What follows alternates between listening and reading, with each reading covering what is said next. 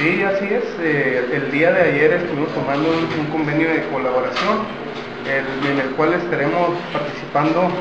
en conjunto para llevar capacitación ya sea tanto a los agremiados de, de Coparmex,